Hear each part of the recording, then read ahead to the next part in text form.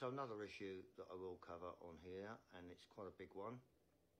is what we call second time around relationships.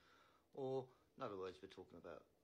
new couples that have got together into new relationships after separation, after divorce.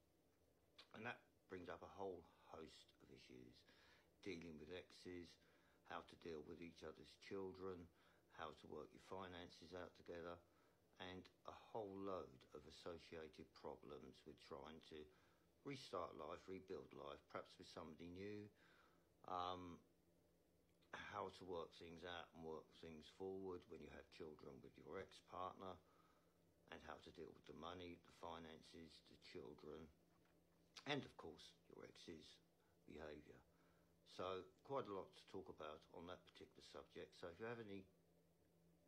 questions on that subject, please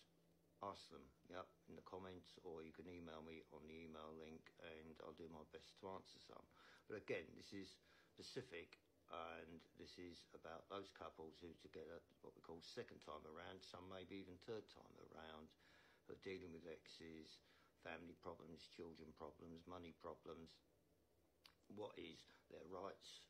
what are their obligations, and how do they solve some of those problems.